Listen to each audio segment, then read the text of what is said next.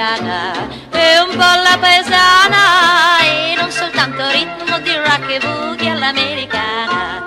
La vita è tanto bella e la vogliamo godere, cantiamo tutti in coro questa mazurka che fa piacere.